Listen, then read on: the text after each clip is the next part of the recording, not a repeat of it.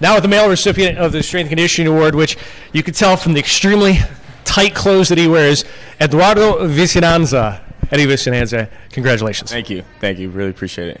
Now your team, I mean, they've come together. It's been a rough season for baseball, but you guys not only have been strong, you know, physically, but also mentally. How is this? How have you guys been able to, you know, stay positive throughout the year? Um, I mean, baseball is a tough sport. You know, there's a lot of ups and downs, and um, you know, obviously, we're not having the year that we all uh, hope to and we expected to have. But um, I mean, a big part for me as a senior and being somebody uh, as a leader on the team, I wanted to, um, you know, set the framework for the younger guys and just kind of be an example that somebody, you know, these guys can look to so they continue to get better, and this program can continue to grow and become the program it, it can be.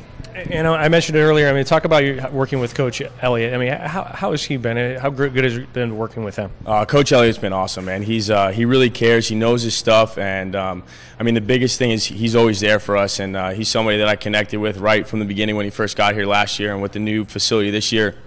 Just being able to put in all that extra work, and uh, you know, he just really cares about making you uh, become the best athlete you can be, and he just always knows how to push and motivate you to be the best. So.